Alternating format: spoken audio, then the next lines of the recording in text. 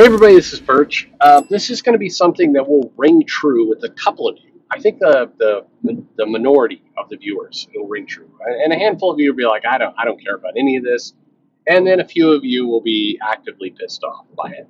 But um, I was thinking about this the other day because I was, I was I was looking at the comic news stories. You know, what's coming out, what's new, what's uh, what's going to happen here, and one of the top news stories today, as I'm recording this is that uh, Nubia, queen of the Amazons. So if you if you've been following along, Hippolyta was the queen, and then she joined the Justice League, and then Nubia took the throne, and then Hippolyta was killed, or maybe she wasn't.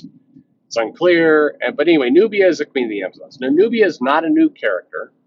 A number of people have said, you know, this is woke DC trying to inflict some, you know, uh, African American. Well, Is it African American? You're an Amazon. What what is it anymore? Look, brown. Are we are we supposed to say that? It doesn't seem quite right that we're anyway. Whatever.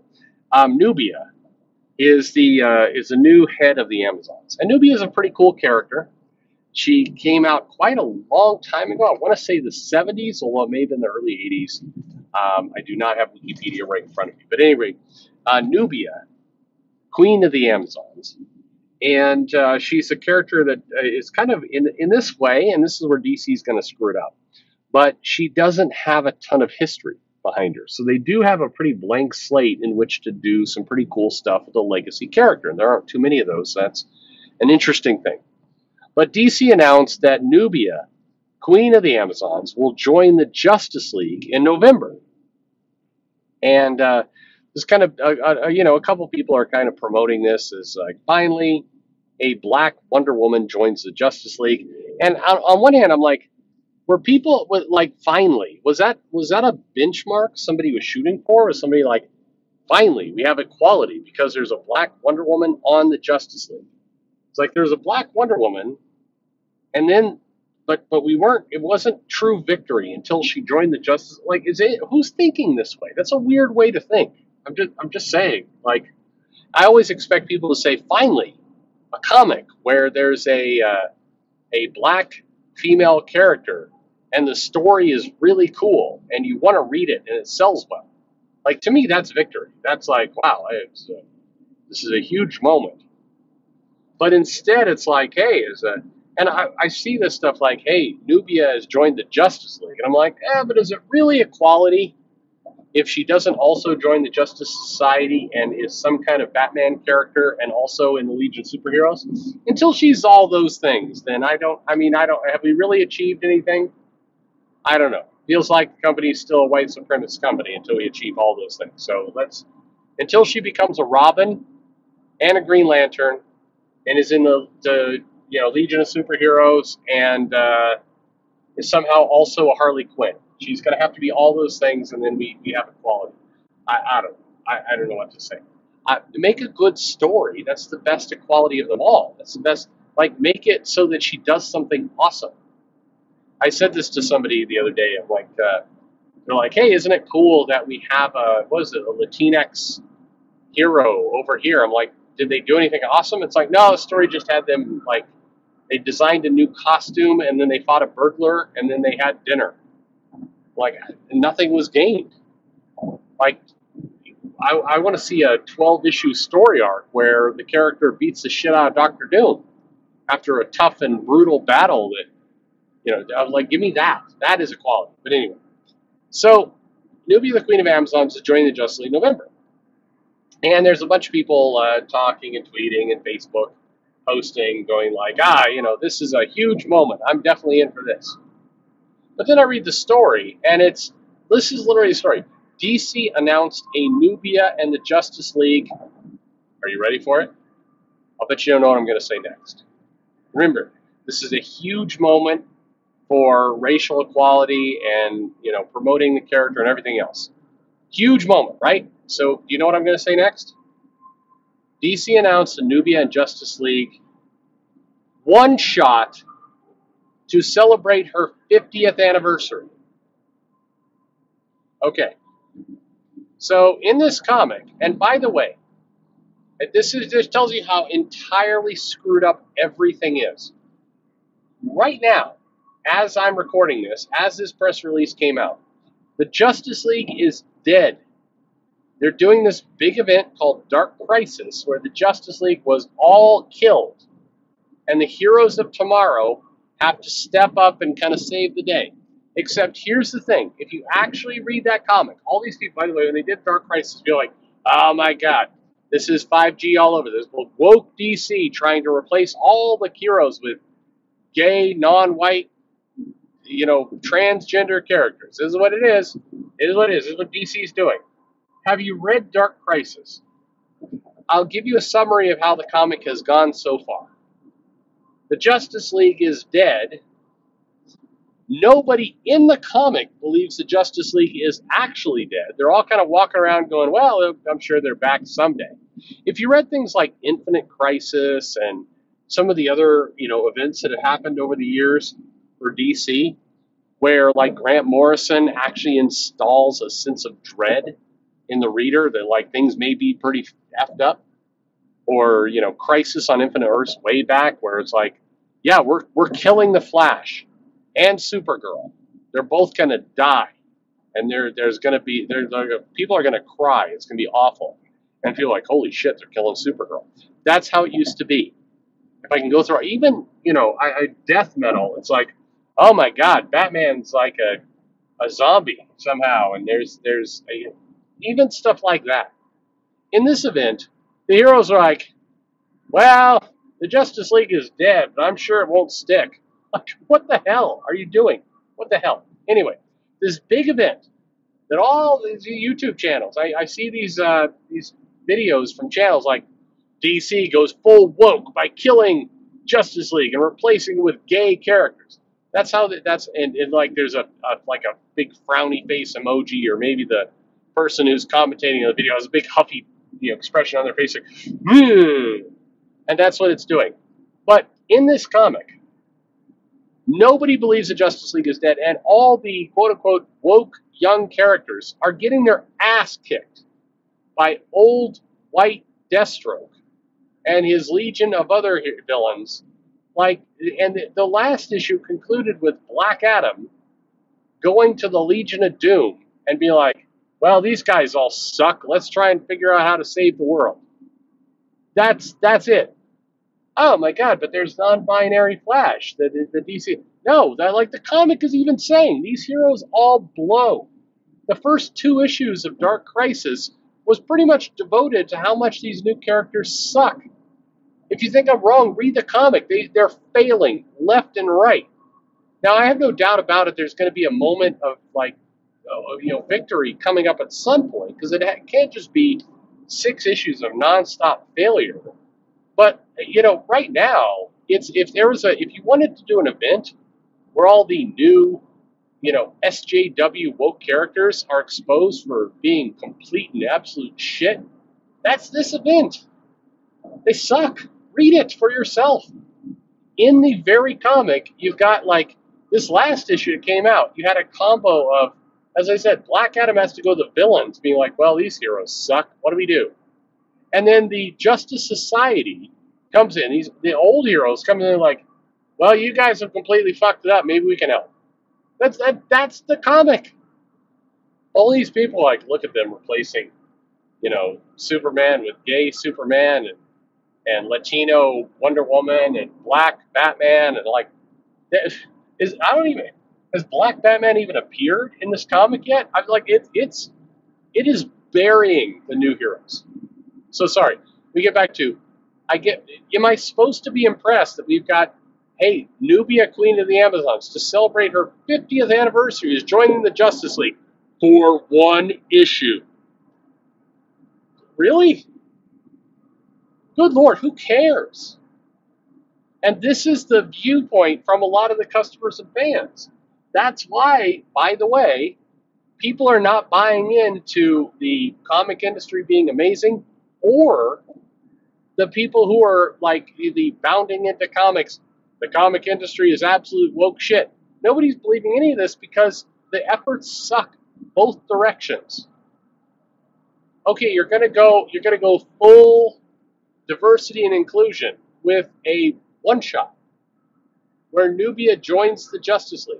Let's listen to this uh, press release, uh, this this announcement, where even the person writing it is bored. To celebrate Nubia's 50th anniversary, DC is once again changing her status quo by having her join one of the most powerful teams in the DC universe. Nubia and the Justice League Special Number One is a 48 page one shot exploring the character's reintegration into man's world as she learns how to work with the various members of the JLA.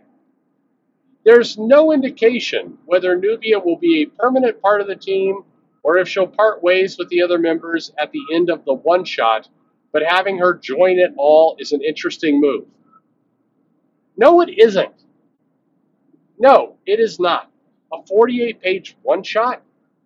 Fuck, I mean, just have like Bat-Mite, Ambush Bug, joins the Justice League in 48 pages of pure bullshit nobody is going to remember a year from now. Who cares? If you're really committed to uh, Nubia and some of the diversity efforts, then commit a one page 40 uh, uh, sorry one page one shot 48 page like nubia jokes around with members of the justice league who in current continuity are dead who cares? Full stop, who cares? Let's see. Who is this issue written by? I'm sure it'll be an, a, a complete all star team. After all, we're trying to create, you know, inclusive, you know, efforts. That's what, uh, you know, the, the, the, the news, the people keep telling us that, you know, comic companies are trying to push this diversity on us. So certainly to do that, they're going to put the best possible creative team on this 48 page one shot where the Justice League, which I mean, who gives a shit? They're not. They haven't even been putting the title out for several months because the characters are all dead. I'm sure, uh, you know, this is the prestigious A team of DC. Why not? Who's the creative team? Nubia and the Justice League Special Number One is written by Becky Cloonan, Michael W. Conrad, and Stephanie Williams. Oh, three writers on this, with art by Art Adams. Oh, no, come on. J. Scott Campbell? No. Jorge Jimenez? No. Mark Millar stole him. Um, who who could possibly be this top great? And by the way, this is not. I'm sure this artist is wonderful. Honestly, it is not throwing shade at the artist. It's just saying if we're to believe that the SJW takeover of comics is is dominating everything, and uh, and and this is the if this is the best possible effort. You know, DC's going to tout this, pat themselves on the back of being the most amazing, you know, inclusion after 50 years, an anniversary, 50 year anniversary. Who have we put on this book? Art by Amancay uh, Nahuelpan and Alitha Martinez. The issue features variant covers by Travis Moore, Mateus Manhanini, and Joshua Sway Swaby.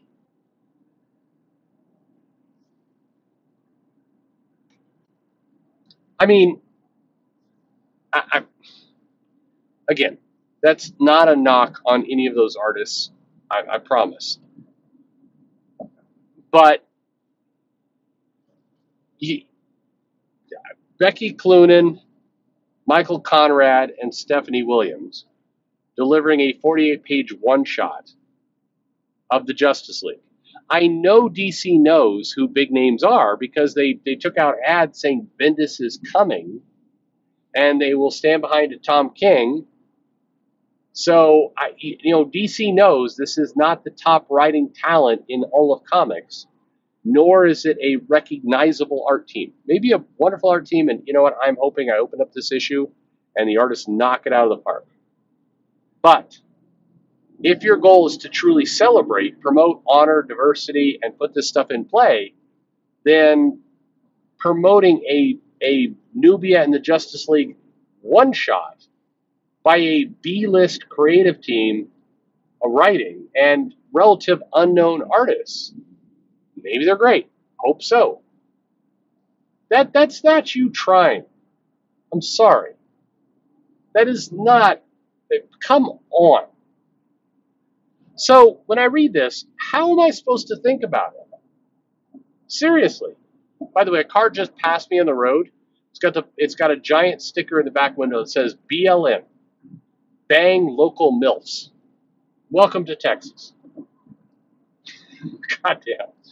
I, but but look, how am I supposed to think about this? Am I supposed to be like, hooray, finally, finally, finally we're fighting white supremacy by putting Becky Cloonan and Michael Conrad and Stephanie Williams, three writers on a book with an unknown artist team on a 48 page one shot where Nubia joins the Justice League maybe for an issue. Yay! Equality. Hey, what are you even doing? To, to, to be in higher, 100% clear about this, like, if, if you really want to promote this kind of, if you want to promote diversity and inclusion, and more power to you if you do, here's an idea. How about Nubia, the ongoing series that is not a limited series by some of the biggest names in the industry? Jim Lee will be doing covers. You know, I, I don't know. Who does DC have? You know, put Bendis on it. Put Josh Williamson on it. Put uh, Scott Snyder. How about that? Scott Snyder returns to DC for a ongoing Nubia series with covers by Jim Lee and interior art by Brett Booth. How about that? That would send a little message saying, hey, we're not fucking around this time. We actually do care about diversity. How about that? Oh boy, a one shot. Thank goodness we've come so far as a society that we can do a 48 page one shot with a uh, relatively unknown creative team uh, about something that nobody will remember or care about 60 days after it hits the stands. If that. Is this, is this, you know that meme of the little, it's like the anime character and he's like looking up and holding a butterfly and it's like, is this, it's like, is this equality? Is this what that, is this what equality is? A one shot? Got, this is the, the point I try and make to the, uh, you know, comics are infested with, uh, with, with SJW liberals. This is the point I try and make. They're not taking any of these efforts seriously. I know you guys are. I know it's it makes good video fodder. It's like, oh my god, did you see that Nubia Real One book? It sure did suck. And and you're right, it did absolutely suck. It certainly did. That book was terrible. But who cares? Who's talking about Nubia Real One now? Anyone? Nobody is mentioning this book. Nobody has remembered that book exists. It's it's dead just like the idea of, of a one-shot 48-page book, I, I'm this is one of those arguments that cuts both ways and everybody gets pissed off. This uh, this is an indication that absolutely nobody is taking this seriously. Nobody. You can be angry about it, but this is don't, don't worry. If you're like, oh man, they're trying to replace all the straight white characters with, you know, gay colored characters colored is still seems like a, a absolutely a slur to me, but you know, I don't know. People use it. Uh, it's it's wrong, right? Like when did that become right? And, and people like I, I, was reading an article on Bleeding Cool, and they're like, you know, colored characters are are having a resurgence. I'm like, that's flat out racist, isn't it? It was last time I checked. I, I think it is. Pretty sure. But all right, I guess you do what you got to do, but I mean that that doesn't, doesn't feel right anyway. People of color, I, just put the ongoing comic out, or at least try. Who cares? Like half the comics get canceled by issue ten anyway. You can't even pretend. I don't. I don't take any of this seriously. When the comic companies come out and they're like, we're, we're focusing on diversity. No, you're not. You're not. It's a bunch of bullshit. You are not. Not when you're doing stuff like this. If you're getting angry about this, don't. There's no point. Why are you angry about it? It's not real. If the best effort is a 48 page look, finally, for the, and look at this, the 50th anniversary. of this character. 50 years. Joining the Justice League in a one shot. Woohoo! Thanks for listening.